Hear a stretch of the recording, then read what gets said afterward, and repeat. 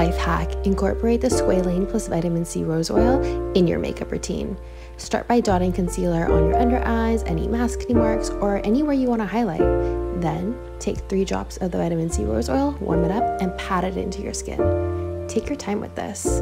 You'll be left with naturally glowing skin.